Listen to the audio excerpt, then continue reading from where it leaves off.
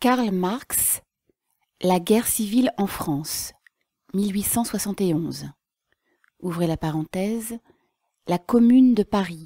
Fermez la parenthèse.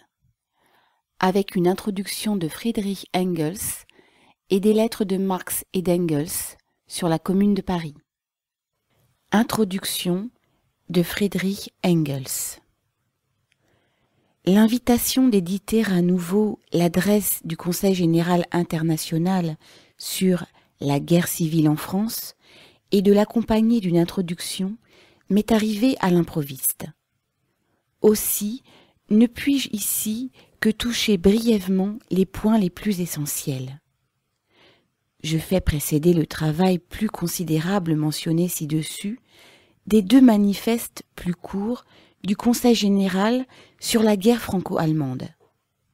D'abord, parce que dans la guerre civile, on en réfère au second, qui lui-même n'est pas entièrement intelligible sans le premier. Ensuite, parce que ces deux manifestes, également composés par Marx, ne sont pas moins que la guerre civile des exemples supérieurs du don merveilleux de l'auteur en premier lieu réalisé dans le 18 Brumaire de Louis Bonaparte, pour saisir clairement le caractère, la portée et les suites nécessaires des grands événements historiques, au moment où ces événements se jouent encore devant nos yeux ou viennent à peine de se terminer. Et enfin, parce que nous avons aujourd'hui encore en Allemagne à souffrir des suites de ces événements que Marx avait prédits ou bien ne s'est-il pas réalisé ce qui est dit dans le premier manifeste, que si la guerre défensive de l'Allemagne contre Louis Bonaparte dégénérait en guerre de conquête contre le peuple français, tout le malheur qui s'est abattu sur l'Allemagne après les soi-disant guerres de l'indépendance allait renaître avec une violence renouvelée Note de bas de page. Guerre, ouvrez la parenthèse, 1813-1814, fermez la parenthèse, des États allemands, la Prusse en tête, contre Napoléon Ier, qui avait annexé à la France certaines parties de l'Allemagne et avait placé le reste sous sa dépendance. Fin de la note de bas de page. N'avons-nous pas eu encore vingt années de plus de la domination de Bismarck? Et au lieu des persécutions des démagogues, note de bas de page, c'est de ce nom que les autorités gouvernementales allemandes désignaient les représentants des idées libérales et démocratiques de 1820 à 1840 environ. En 1819, une commission spéciale fut créée pour enquêter sur les ouvrez les guillemets menées des démagogues fermez les guillemets dans tous les États allemands. Fin de la note de bas de page. Donc, n'avons-nous pas eu encore vingt années de plus de la domination de Bismarck et, au lieu des persécutions des démagogues, la loi d'exception et la chasse aux socialistes, avec le même arbitraire policier, avec littéralement la même façon d'interpréter la loi à dresser les cheveux? Et ne s'est-elle pas littéralement réalisée? La prédiction que l'annexion de l'Alsace-Lorraine, ouvrez les guillemets, précipiterait la France dans les bras de la Russie. Note de bas de page. Citation tirée de la deuxième adresse du Conseil général au sujet de la guerre franco-prussienne. Marx avait prévu qu'après l'annexion de l'Alsace et de la Lorraine, la France, assoiffée de revanche, chercherait des alliés, en premier lieu dans la Russie tsariste. Le 1er septembre 1870, Marx écrivait à Zorg. Ouvrez les guillemets. La guerre actuelle conduit ce que les ânes prussiens ne voient pas, ne peuvent pas concevoir, aussi nécessairement à la guerre entre l'Allemagne et la Russie que la guerre de 1866 à la guerre entre la Prusse et la France. Cela est le meilleur résultat que je puisse en attendre pour l'Allemagne.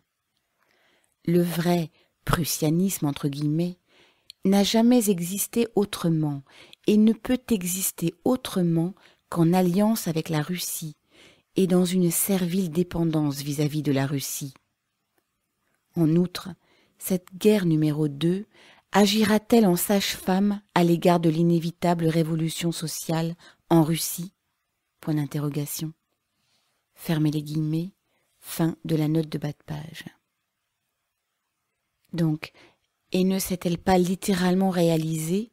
La prédiction que l'annexion de l'Alsace-Lorraine, ouvrez les guillemets, précipiterait la France dans les bras de la Russie, fermez les guillemets, et qu'après cette annexion, l'Allemagne, ou deviendrait le jouet avoué de la Russie, ou serait obligée, après un court répit, de s'armer pour une nouvelle guerre, et notamment, ouvrez les guillemets, pour une guerre de race contre les races latines et slaves coalisées, fermez les guillemets, est-ce que l'annexion des provinces françaises n'a pas poussé la France dans les bras de la Russie? Bismarck ne s'est-il pas vainement, pendant vingt années entières, prostitué pour les bonnes grâces du tsar, prostitué en rendant des services encore plus bas que ceux que la petite Prusse, avant d'être devenue ouvrez les guillemets, la première puissance d'Europe, fermez les guillemets, avait coutume de déposer au pied de la Sainte Russie. Et est-ce que ne pend pas quotidiennement au-dessus de notre tête l'épée de Damoclès d'une guerre au premier jour de laquelle tous les traités d'alliance des princes se disperseront comme paille, d'une guerre dont rien n'est sûr que l'absolue incertitude de son issue, d'une guerre de race qui soumettra l'Europe entière à la dévastation par quinze ou vingt millions d'hommes armés, et qui ne fait pas encore rage seulement parce que le plus fort des grands États militaires est pris de peur devant l'imprévisibilité du résultat final. D'autant plus est-ce un devoir de rendre à nouveau accessibles aux ouvriers allemands ces documents brillants, à demi oubliés, de la clairvoyance de la politique ouvrière internationale de 1870. Ce qui est vrai des deux manifestes l'est aussi de celui sur la guerre civile en France. Le 28 mai, les derniers combattants de la commune succombaient sous le nombre sur les pentes de Belleville. Et deux jours après déjà, le 30, Marx lisait devant le Conseil général son ouvrage dans lequel la signification historique de la commune de Paris est représentée en traits brefs, puissants, mais si pénétrants, et avant tout si vrais, que cela n'a jamais été plus égalé dans l'ensemble de l'abondante littérature sur ce sujet. Grâce au développement économique et politique de la France depuis 1789, Paris, depuis cinquante années, s'est trouvé dans cette situation qu'aucune révolution ne pouvait y éclater qui ne revêtît un caractère prolétarien. De telle sorte que le prolétariat, qui achetait de son sang la victoire, apparaissait après la victoire avec ses revendications propres. Ces revendications étaient plus ou moins obscures et même confuses, selon le degré correspondant de développement des ouvriers parisiens mais, en définitive, elle tendait à la suppression de l'antagonisme de classe entre capitalistes et ouvriers. Comment cela devait arriver, on ne le savait pas à vrai dire. Mais la revendication même, si indéterminée qu'elle fût encore dans sa forme, contenait un danger pour l'ordre social établi. Les ouvriers qui la posaient étaient encore armés. Pour les bourgeois qui se trouvaient au gouvernail de l'État, le désarmement des ouvriers était donc le premier devoir. D'où, après chaque révolution où les ouvriers avaient été vainqueurs, une nouvelle lutte qui se termine par la défaite des ouvriers. C'est ce qui se produisit pour la première fois en 1848. Les bourgeois libéraux de l'opposition parlementaire tinrent des banquets en faveur de l'exécution de la réforme électorale qui devait assurer la domination de leur parti. Dans la lutte avec le gouvernement, forcés de plus en plus à faire appel au peuple, ils étaient obligés de céder peu à peu le pas aux couches radicales et républicaines de la bourgeoisie et de la petite bourgeoisie. Mais, derrière elles, se tenaient les ouvriers révolutionnaires, et ceux-ci, depuis 1830, avaient acquis beaucoup plus d'indépendance politique que les bourgeois et même les républicains ne le soupçonnaient. Au moment de la crise entre le gouvernement et l'opposition, les ouvriers engagèrent le combat de rue. Louis-Philippe disparut, avec lui la réforme électorale. À leur place se dressa la République, et justement une République que les ouvriers victorieux désignèrent eux-mêmes du nom de, ouvrez les guillemets, social, fermez les guillemets. Ce qu'il fallait entendre par République sociale, c'est ce que personne ne savait clairement, pas même les ouvriers. Mais maintenant, ils avaient des armes et étaient une force dans l'État. Aussi, dès que les bourgeois républicains qui se trouvaient au gouvernail sentirent sous leurs pieds un sol plus ou moins ferme, leur premier objectif fut de désarmer les ouvriers. Ceci se produisit par le fait qu'on les précipita dans l'insurrection de juin 1848 par un manque de paroles directes, par un défi ouvert et la tentative de bannir les sans-travail dans une province éloignée.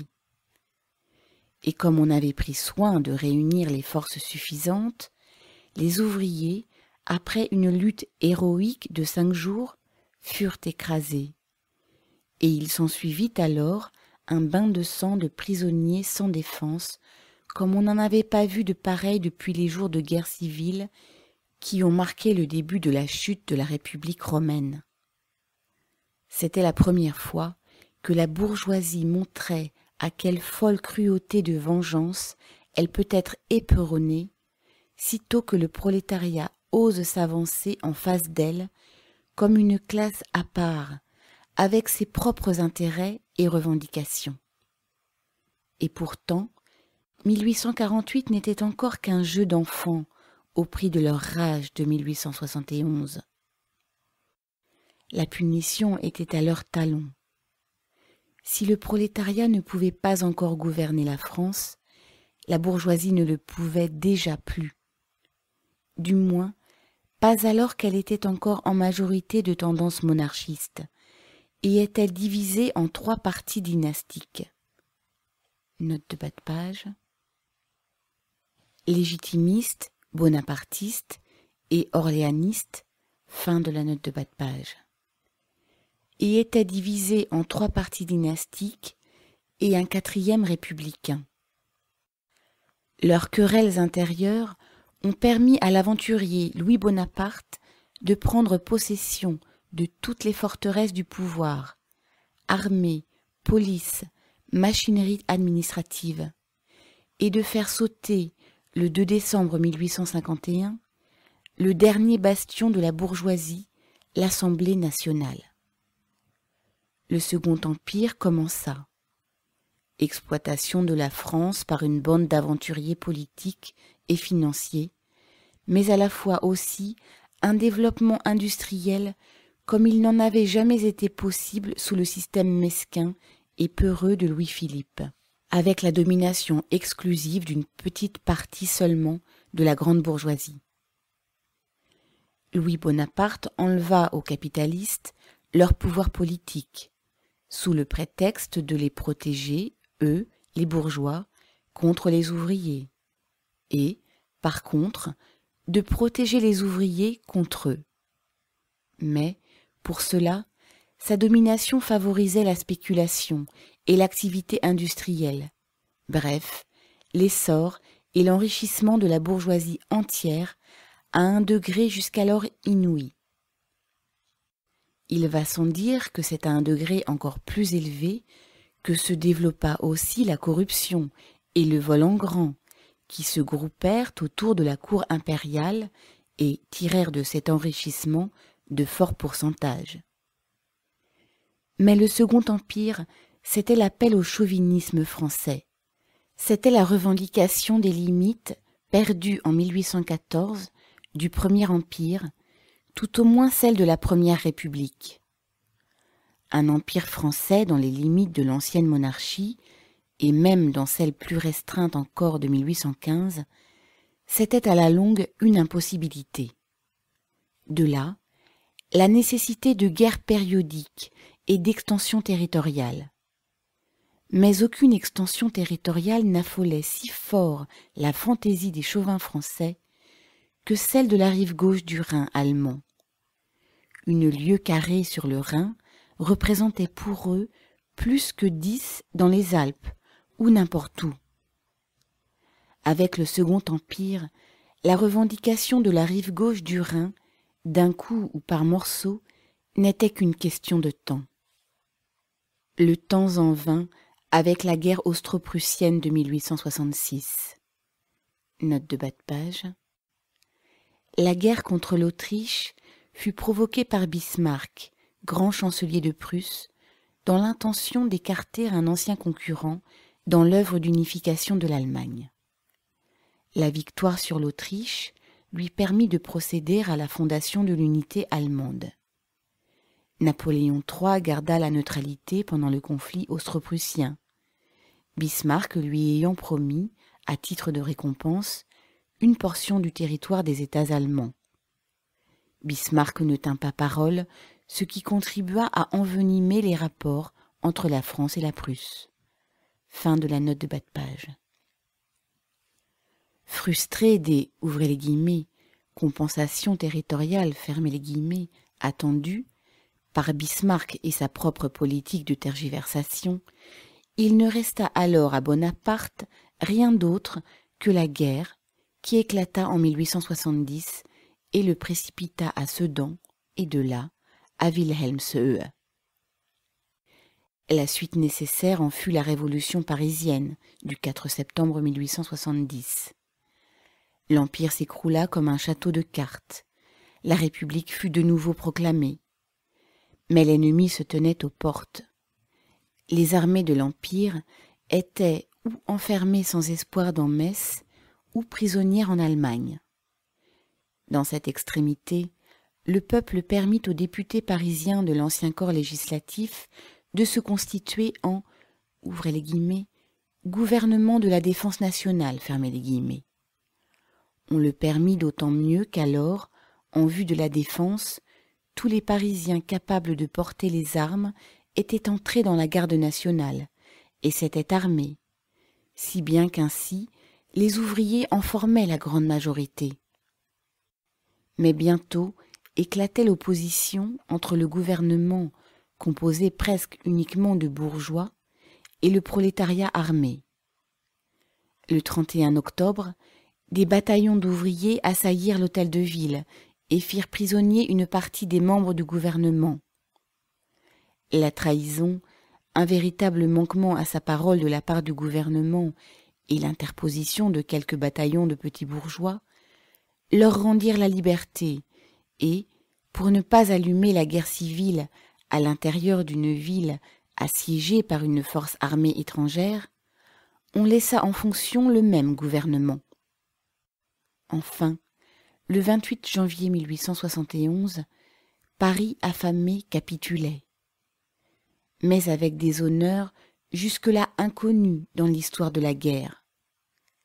Les forts furent rendus, les fortifications désarmées, les armes de la ligne et de la garde mobile livrées, elles-mêmes considérées comme prisonnières de guerre. Mais la garde nationale conserva ses armes et canons et ne se mit que sur un pied d'armistice avec les vainqueurs. Et ceux-ci même n'osèrent pas faire dans Paris une entrée triomphale. Ce n'est qu'un petit coin de Paris, et encore un coin plein de parcs publics, qu'ils ont osé occuper, et cela même rien que quelques jours. Et pendant ce temps, ils furent, eux qui avaient cerné Paris pendant cent trente et un jours, cernés eux-mêmes par les ouvriers parisiens armés qui veillaient avec soin à ce qu'aucun Prussien entre guillemets ne dépassât les étroites limites du coin abandonné aux conquérants étrangers. Tel est le respect qu'inspiraient les ouvriers parisiens à l'armée devant laquelle toutes les troupes de l'Empire avaient déposé les armes. Et les Junkers prussiens, qui étaient venus assouvir leur vengeance au foyer de la Révolution, devaient s'arrêter avec déférence et faire le salut militaire devant cette même révolution armée. Pendant la guerre, les ouvriers parisiens s'étaient bornés à exiger la continuation énergique de la lutte. Mais maintenant qu'après la capitulation de Paris, la paix s'était faite, Thiers, la nouvelle tête du gouvernement, était forcé de réaliser que la domination des classes possédantes, grands propriétaires fonciers et capitalistes, se trouverait en danger constant tant que les ouvriers parisiens garderaient les armes à la main. Son premier acte fut une tentative de les désarmer. Le 18 mars, il envoya les troupes de la ligne avec l'ordre de voler l'artillerie appartenant à la garde nationale, fabriquée et payée par souscription pendant le siège de Paris. La tentative échoua. Paris se dressa comme un seul homme pour la défense et la guerre entre Paris et le gouvernement français siégeant à Versailles fut déclarée.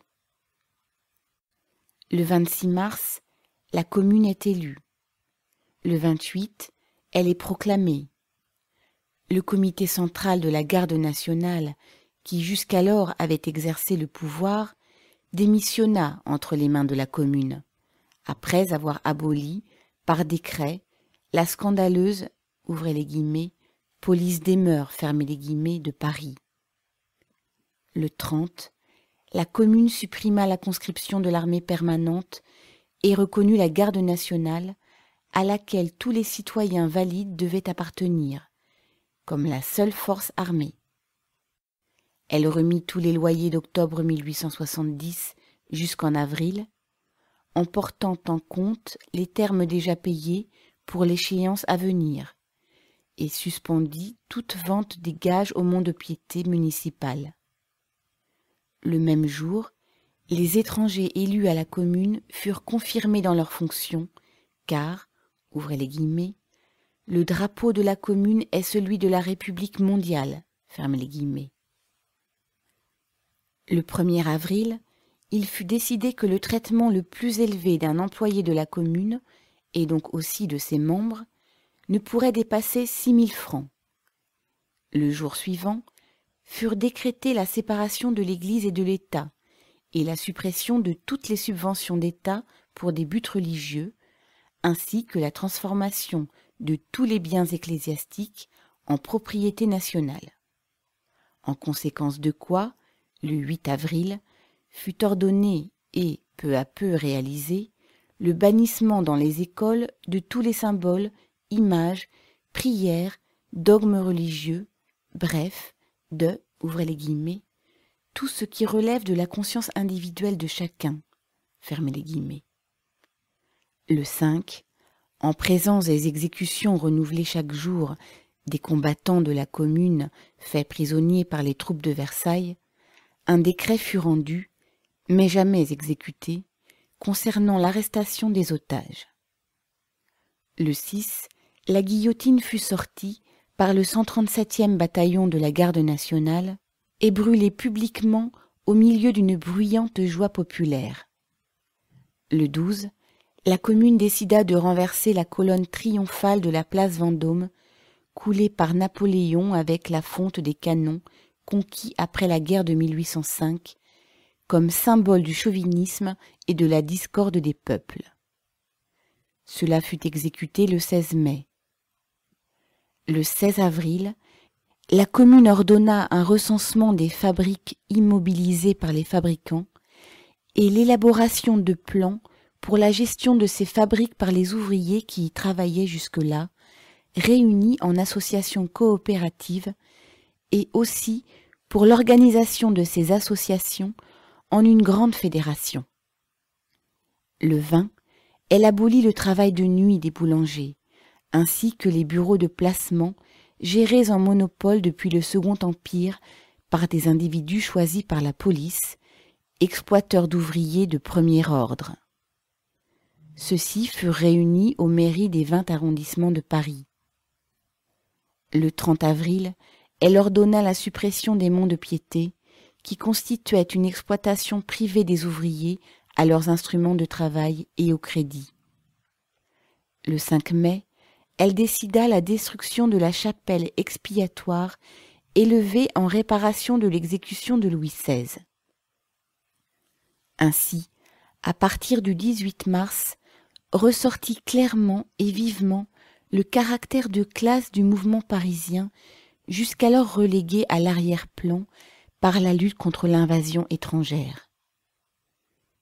Comme dans la commune ne siégeaient presque que des ouvriers ou des représentants reconnus des ouvriers, ces décisions portaient un caractère nettement prolétarien. Ou elles décrétaient des réformes que la bourgeoisie républicaine avait négligées rien que par lâcheté, mais qui constituaient pour la libre action de la classe ouvrière une base indispensable, comme la réalisation de la formule suivant laquelle vis-à-vis de l'État la religion n'est qu'une affaire privée, où elle prenait des décisions directement dans l'intérêt de la classe ouvrière, et quelques-unes même entamant profondément le vieil ordre social. Mais tout cela, dans une ville assiégée, ne pouvait avoir tout au plus qu'un début de réalisation et à partir du début de mai, la lutte contre les troupes de Versailles, toujours plus nombreuses, absorba toutes les forces. Le 7 avril, les Versaillais s'étaient emparés du passage de la Seine à Neuilly, sur le front ouest de Paris. Par contre, le 11, pendant une attaque du général Eudes sur le front sud, ils furent repoussés d'une façon sanglante. Paris était bombardé sans arrêt, et cela par les mêmes gens qui avaient stigmatisé comme un sacrilège le bombardement de la même ville par les Prussiens. Ces mêmes gens mendiaient maintenant auprès du gouvernement prussien le renvoi précipité de Sedan et de Metz des soldats français prisonniers qui devaient leur reconquérir Paris. L'arrivée graduelle de ces troupes donna aux Versaillais, à partir du début de mai, une prépondérance décisive.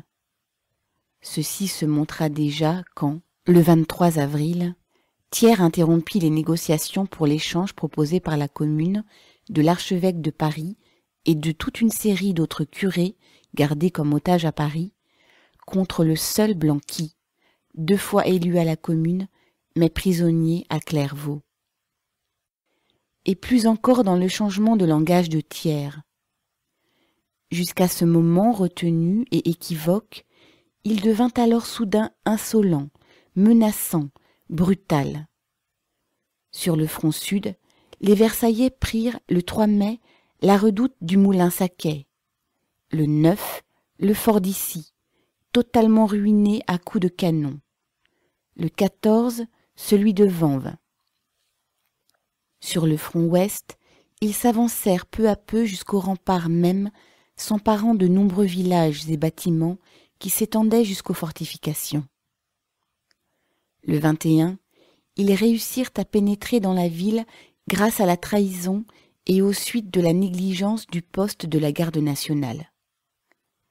Les Prussiens qui occupaient les forts du nord et de l'est permirent aux Versaillais d'avancer par le terrain au nord de la ville qui leur était interdit par l'armistice, et, par là même, d'attaquer sur un large front que les Parisiens devaient croire protégé par l'armistice et par là même seulement gardé faiblement. En conséquence de quoi, la résistance ne fut que faible dans la moitié ouest de Paris, dans la ville de Luxe à proprement parler. Elle devint plus violente et tenace à mesure que les troupes envahisseuses s'approchaient de la moitié est, de la ville ouvrière à proprement parler. Ce n'est qu'après une lutte de huit jours que les derniers défenseurs de la commune succombèrent sur les hauteurs de Belleville et de Ménilmontant, et alors le massacre des hommes, des femmes et des enfants sans armes, qui avait fait rage toute la semaine, en croissant sans cesse, atteignit son point culminant. Le fusil ne tuait plus assez vite. c'est par centaines que les vaincus furent exécutés avec des mitrailleuses. Le mur des fédérés, au cimetière du Père-Lachaise, où le dernier massacre en masse fut accompli, est aujourd'hui encore debout, témoignage d'une éloquence muette, de la furie dont la classe dirigeante est capable, dès que le prolétariat ose se dresser pour son droit. Vinrent ensuite les arrestations en masse, lorsque l'abattage de tous se révéla impossible. La fusillade des victimes tirée arbitrairement des rangs des prisonniers, la relégation du reste dans de grands camps où ils attendirent la comparution devant les conseils de guerre. Les troupes prussiennes, qui campaient autour de la moitié nord de Paris, avaient l'ordre de ne laisser passer aucun fugitif. Mais souvent, les officiers fermaient les yeux quand les soldats écoutaient plutôt la voix de l'humanité que celle de leurs consignes. Et en particulier, au corps d'armée saxon revient la gloire de s'être conduit d'une façon très humaine et d'avoir laissé passer bien des gens dont la qualité de combattant de la commune était évidente. Si, aujourd'hui, après vingt années, nous jetons les yeux en arrière sur l'activité et la signification historique de la commune de Paris de 1871, nous trouverons qu'à la peinture qui en est donnée dans La guerre civile en France, il y a à faire quelques additions. Les membres de la commune se divisaient en une majorité de blanquistes, qui avaient déjà dominé dans le comité central de la garde nationale, et une minorité, les membres de l'Association internationale des travailleurs, se composant pour la plupart de partisans de l'école socialiste proudhonienne. Les blanquistes n'étaient alors, dans l'ensemble, socialistes que par instinct révolutionnaire. Prolétariens, un petit nombre seulement d'entre eux étaient parvenus, grâce à Vaillant, qui connaissait le socialisme scientifique allemand, à une plus grande clarté de principe. On saisit ainsi pourquoi, sous le rapport économique, bien des choses ont été négligées que, selon notre conception d'aujourd'hui, la commune aurait dû faire. Le plus difficile à saisir et certainement le saint respect avec lequel on s'arrêta devant les portes de la Banque de France. Ce fut aussi une lourde faute politique. La banque, aux mains de la commune, cela valait mieux que dix mille otages. Cela signifiait la pression de toute la bourgeoisie française sur le gouvernement de Versailles dans l'intérêt de la paix avec la commune. Mais le plus merveilleux encore, c'est la quantité de choses justes faites par la commune, bien qu'elle ait été composée par des blanquistes et des prodoniens. Il va sans dire que pour ce qui est des décrets économiques de la commune, de leur côté glorieux ou peu glorieux, les proudhoniens furent responsables en première ligne. Comme pour ce qui est des actes et passivités politiques, les blanquistes. Et dans les deux cas, L'ironie de l'histoire a voulu, comme toujours quand des doctrinaires arrivent au gouvernail, que les uns comme les autres firent le contraire de ce que leur prescrivait leur doctrine d'école. Proudhon, le socialiste du petit paysan et de l'artisan, haïssait l'association d'une haine positive. Il disait d'elle qu'elle comportait plus de mauvais que de bons, qu'elle était par nature stérile, voire nuisible, parce qu'entrave mise à la liberté du travailleur, qu'elle était un pur dogme improductif et encombrant, en opposition autant avec la liberté du travailleur qu'avec l'épargne du travail, et que ses désavantages croissaient plus vite que ses avantages. Qu'en face d'elle, la concurrence, la division du travail, la propriété privée restaient des forces économiques ce n'est que pour les exceptions, comme Proudhon les appelle, de la grande industrie et des grandes entreprises, par exemple les chemins de fer, que l'association des travailleurs était à sa place. Ouvrez la parenthèse, voir Idée générale de la Révolution, troisième édition, fermez la parenthèse. Et en 1871, à Paris même, le siège central de l'artisanat d'art, la grande industrie avait cessé tellement d'être une exception que le décret de loin le plus important de la commune ordonnait une organisation de la grande industrie et même de la manufacture qui devait non seulement reposer sur l'association des travailleurs dans chaque fabrique, mais aussi unir toutes ces associations dans une grande fédération. Bref, une organisation qui, comme Marx le dit très justement dans La guerre civile, devait aboutir finalement au communisme, c'est-à-dire à, l'antipode direct de l'enseignement proudhonien.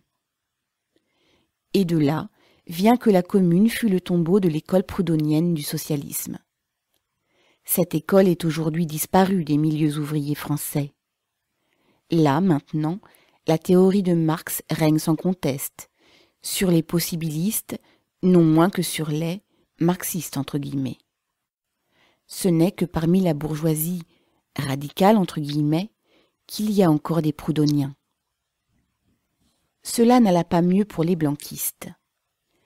Élevés à l'école de la conjuration, liés par la stricte discipline qui y correspond, ils partaient de ce point de vue qu'un nombre relativement petit d'hommes résolus et bien organisés était capable, à un moment donné propice, non seulement de s'emparer du gouvernail de l'État, mais aussi, en déployant une grande énergie, sans égard à rien, de s'y maintenir assez longtemps pour réussir à entraîner la masse du peuple dans la révolution et à la grouper autour de la petite troupe directrice.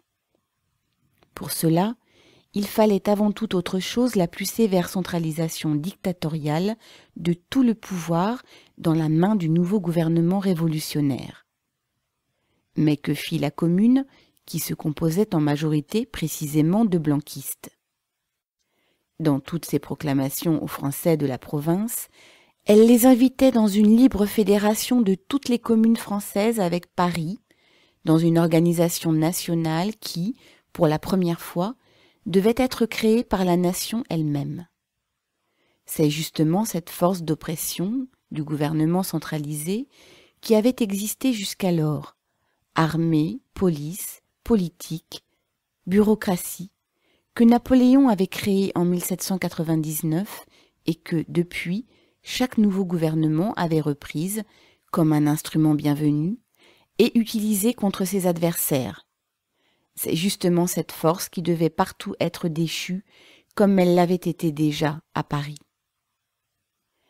La commune dut aussitôt reconnaître que la classe ouvrière, une fois parvenue au pouvoir, ne pouvait continuer à gérer avec la vieille machine d'État, que cette classe ouvrière, pour ne pas reperdre sa propre domination tout juste conquise, devait d'une part abandonner la vieille machinerie d'oppression jusqu'alors employée contre elle-même, mais, d'autre part, s'assurer contre ses propres mandataires et fonctionnaires en les déclarant en tout temps et sans exception amovibles. En quoi consistait la particularité caractéristique de l'État jusqu'alors? La société avait pour le soin de ses intérêts communs créé, originairement par simple division du travail, ses organes propres. Mais ces organismes, dont le sommet était le pouvoir de l'État, se sont avec le temps transformés au service de leurs propres intérêts particuliers, de serviteurs de la société en maîtres de celle-ci. Comme on peut le voir, par exemple, non seulement dans la monarchie héréditaire, mais également dans la République démocratique. Nulle part les politiciens entre guillemets ne forment un clan plus séparé et plus puissant de la nation qu'en Amérique du Nord précisément. Là, chacun des deux grands partis, note de bas de page, les partis républicains et démocrates. D'abord, le Parti démocrate représentait les intérêts des grands propriétaires terriens du Sud, le Parti républicain ceux du Nord industriel. Aujourd'hui, l'un et l'autre sont les parties du capital financier. Fin de la note de bas de page. Donc, là, chacun des deux grands partis à qui tour à tour revient la domination est lui-même dirigé par des gens qui font de la politique une affaire, spéculent sur les sièges dans les assemblées législatives de l'Union comme dans celles des États séparés, ou qui vivent de l'agitation pour leur parti et sont récompensés avec sa victoire par des places. On sait bien comme les Américains cherchent depuis trente ans à secouer ce joug devenu insupportable, et comme, malgré tout, ils s'enfoncent toujours plus profondément dans ce marais de la corruption.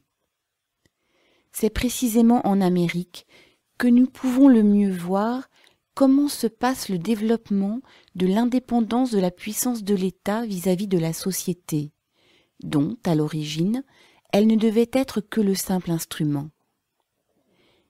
Ici n'existe ni dynastie, ni noblesse, ni armée permanente, ouvrez la parenthèse, à part les quelques soldats pour la surveillance des Indiens, fermez la parenthèse, ni bureaucratie avec poste fixe et droit à la retraite. Et pourtant, nous avons là deux grandes bandes de spéculateurs politiques qui, tour à tour, prennent possession de la puissance de l'État et l'exploitent avec les moyens les plus corrompus et pour les buts les plus éhontés. Et la nation est impuissante en face de ces deux grands cartels de politiciens qui sont, soi-disant à son service, mais qui, en réalité, la dominent et la pillent. Contre cette transformation inévitable dans tous les États jusqu'à présent de l'État et des organes de l'État, de serviteurs de la société en maîtres de la société, la commune employa deux moyens infaillibles. Premièrement, elle soumit toutes les places de l'administration, de la justice et de l'enseignement à l'élection au suffrage universel des intéressés et, bien entendu, à la révocation à tout moment par ces mêmes intéressés. Et deuxièmement, elle ne paya pour tous les services, élevés comme bas, que le salaire que recevaient les autres ouvriers. Le plus haut traitement qu'elle paya dans l'ensemble était de six mille francs. Par là, un frein sûr était mis à la chasse aux places et à l'arrivisme, sans en appeler aux mandats impératifs des délégués au corps représentatif, qui étaient encore ajoutés par-dessus le marché. Cette abolition violente de la puissance de l'État, telle qu'elle a été jusqu'ici, et son remplacement par une nouvelle, en vérité démocratique, est dépeinte d'une façon pénétrante dans la troisième partie de La guerre civile. Mais il était indispensable de revenir ici brièvement sur quelques-uns de ces traits, parce que, précisément en Allemagne, la superstition de l'État a passé de la philosophie dans la conscience commune de la bourgeoisie et même dans celle de beaucoup d'ouvriers. D'après la représentation philosophique, l'État est, ouvrez les guillemets, la réalisation de l'idée, fermez les guillemets, ou le règne de Dieu sur la terre, traduit en langage philosophique, le domaine sur lequel la vérité éternelle et la justice se réalisent ou doivent se réaliser. Et de là découle ensuite une vénération superstitieuse de l'État et de tout ce qui est lié à l'État, qui s'installe d'autant plus facilement qu'on est, depuis le berceau, habitué à s'imaginer que toutes les affaires et tous les intérêts communs de la société entière ne peuvent être réglés que comme ils étaient réglés jusqu'alors, c'est-à-dire par l'État et ses autorités établies. Et l'on croit déjà avoir fait un pas d'une hardiesse tout à fait considérable quand on s'est affranchi de la foi en la monarchie héréditaire et conjure par la République démocratique. Mais en réalité, l'État n'est rien qu'une machine pour l'oppression d'une classe par une autre, et, bien entendu, pas moins dans la République démocratique que dans la monarchie, et dans le meilleur cas, un mal dont le prolétariat vainqueur, dans la lutte pour la domination de classe, hérite, et dont aussi bien que la commune, il ne pourra pas ne pas retailler immédiatement dans la mesure du possible, les côtés les plus nuisibles, jusqu'à ce qu'une génération, grandie dans des circonstances sociales nouvelles, libres, soit en état de se défaire de tout ce bric-à-brac de l'État. Le philicien social-démocrate, Note de bas de page. Dans tous les textes imprimés à ce jour, on lisait le, ouvrez les guillemets, philistin allemand, fermez les guillemets. C'était une falsification. Le manuscrit d'Engels, qui se trouve à l'Institut Marx Engels Lénine, porte, de point, le, ouvrez les guillemets, philistin social-démocrate, fermez les guillemets.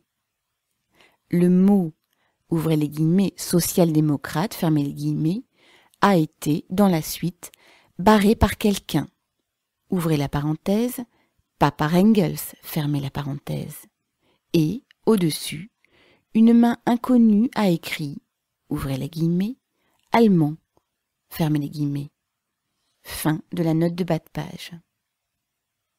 Donc, le Philistin social-démocrate entre une fois de plus dans une terreur sacrée au mot de dictature du prolétariat. Allons bon. Voulez-vous savoir, messieurs, de quoi cette dictature a l'air? Regardez la commune de Paris. C'était la dictature du prolétariat. Londres, pour le vingtième anniversaire de la commune de Paris, 18 mars 1891. F. Engels.